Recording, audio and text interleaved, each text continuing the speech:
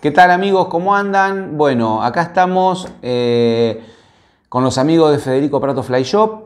Vamos a hacer eh, un, un, video donde vamos a atar dos moscas para una configuración de pesca muy efectiva y muy versátil, que son los dropper de Seca Ninfa. Vamos a atar un atractor con muy alta flotabilidad y visibilidad y una ninfa que eh, yo uso mucho para ese tipo de configuraciones y vamos a explicar algunas cositas, estén atentos al final de cómo combinarlas. Espero que les guste, seguro que les va a servir, es una técnica muy útil de pesca.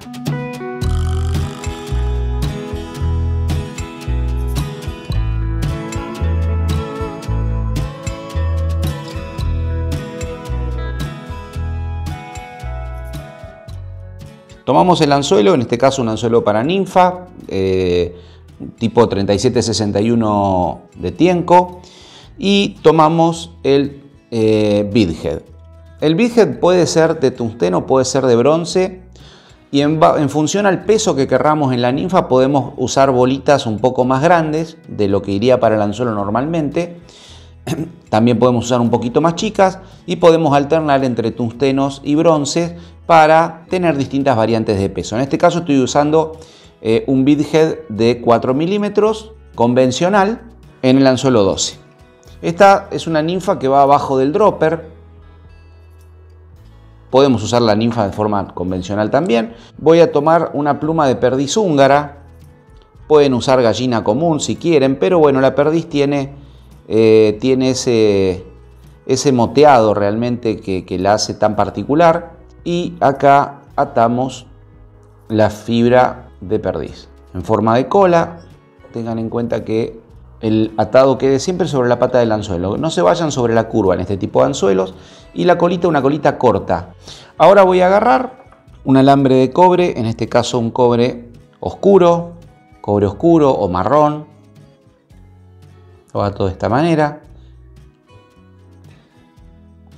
Y voy a agarrar un tinsel wire de color dorado que puede ser un poquito más fino. Igual los colores siempre, este color a mí me funciona muy bien, pero bueno, ustedes pueden ajustarlo como quieran. Enrollo con paciencia el alambre de cobre y lo ato. Si quieren, si quieren, pueden agarrar y pueden hacer con el hilo una base más cónica, más gordita, en donde eh, después enrollan el, alambre y queda un poquitito más gordo. Acá, ahora, sobre el alambre marrón, enrollo el alambrito dorado, entonces le da un, un, pequeño efecto de brillo cambiado. Y ahora voy a agarrar un poquito de dubbing, un dubbing con una textura irregular, en este caso es un SLF, un dubbing que a mí me gusta mucho, y hago la bolita ahí adelante. Podemos ir agregando en base a la cantidad que queremos. Yo siempre aconsejo, en este caso, no exagerar la cantidad de dubbing y trabajar de a pocas cantidades. Una vez que hice eso, lo que vamos a hacer para cerrar este tipo de mosca, ya que eh, no podemos barnizar una vez que terminamos la mosca porque suele quedar eh, la laca puede endurecer el dubbing, un poquito de laca sobre el hilo.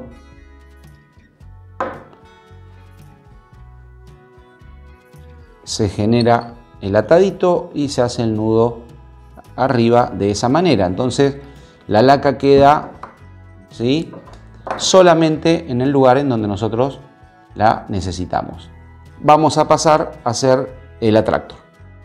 Algo que, está, que es importante con esta mosquita es que uso un anzuelo corto para que eh, cuando cuelgo la ninfa de la mosca queda toda la parte de la cola flotando y la mosca es empujada desde el medio, eso le da más sustentación.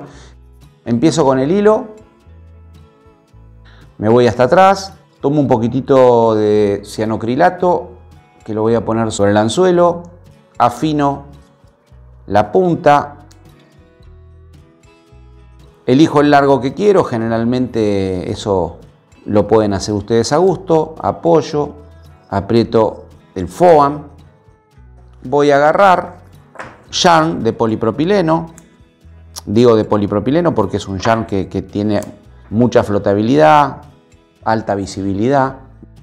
Lo voy a poner ahí como si fuese una alita. Fíjense que no, no hay que andar apretando mucho, por eso es importante el cianocrilato. Y en el medio voy a tomar un poquitito que puede ser algún material de brillo, puede ser un Polar Flash, el Crystal Flash, que es lo que estoy usando acá, queda realmente muy bien.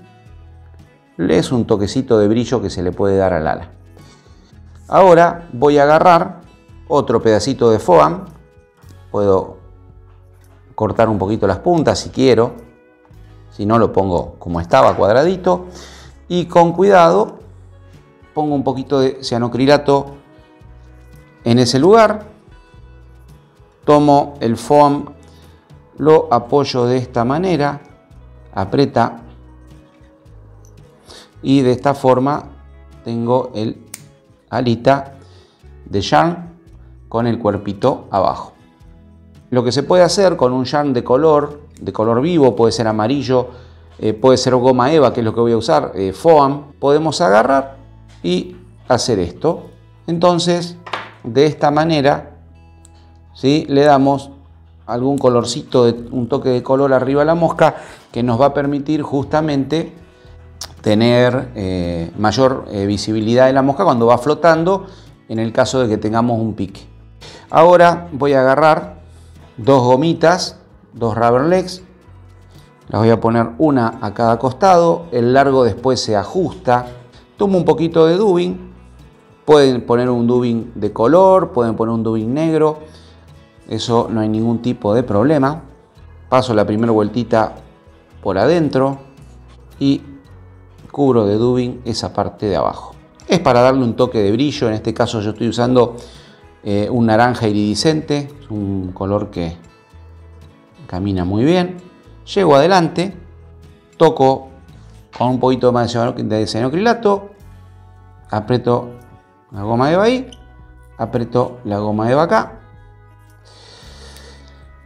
Y una vez que estoy acá, lo que hago es otro par de patitas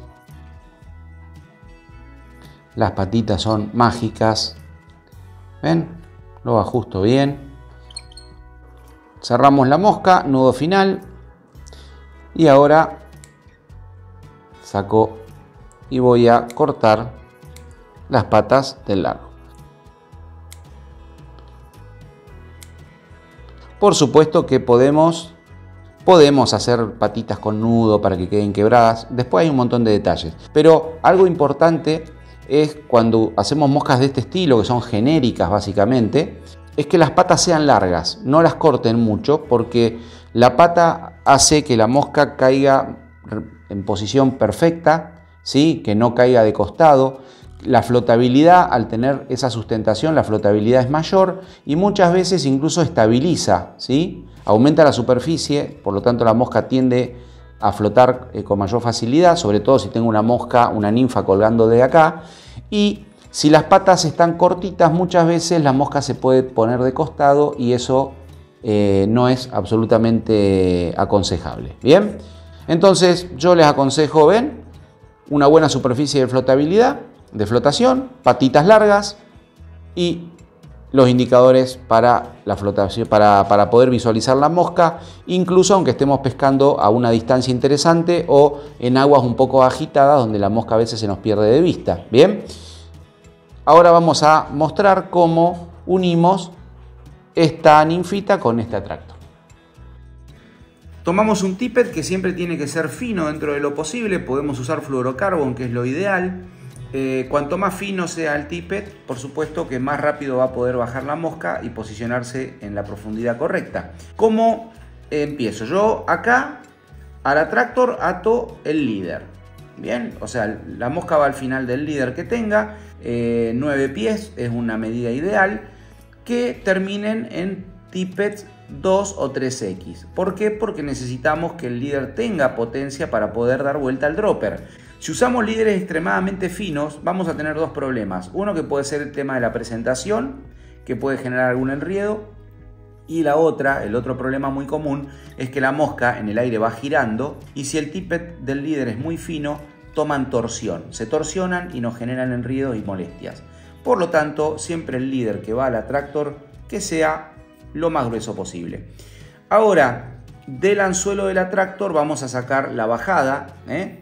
Voy a tomar el tippet, unos dos pies, dos pies y medio, 60 centímetros, 70, y hago un Duncan Loop. Hago un lazo, la orejita, y paso por acá ¿eh? unas tres o cuatro veces. Lo cierro y esto me genera un nudo corredizo sobre un lazo. Corto acá. Fíjense cómo tengo un lazo grande al cual engancho el anzuelo y al tirar el nudo va corriendo y hace tope. Ahí ya pude ajustar y pude unir al gancho del atractor el tippet, al cual al final del tippet lo que voy a hacer es atar la ninfa. Mismo nudo o pueden usar el clásico clinch, yo lo uso bastante. Entonces la ninfa queda colgando a unos 60 centímetros del el atractor. Bien, eh, a veces uno se hace la idea de que esto genera enriedos y que es, es, una molestia. Van a ver que pueden presentar, pescan tranquilos, pescan cómodos. Un consejo, si bien quedan lindos en la foto los loops chiquitos y todo ese tipo de cosas, ¿eh? no usen ese tipo de loops en este tipo de pesca. Traten de hacer loops más controlados y abiertos, ¿eh? en donde la transmisión de energía sea un poco más disipada y donde nos va a permitir trabajar con este tipo de sistemas muchísimo más cómodo y sin generar problemas de enriedo ni de presentación. Gente, espero que les sirva. Aquel que nunca usó este sistemita, úselo, se usa muchísimo, pesca realmente muy bien eh, y bueno, ya hace muchos años que está permitido.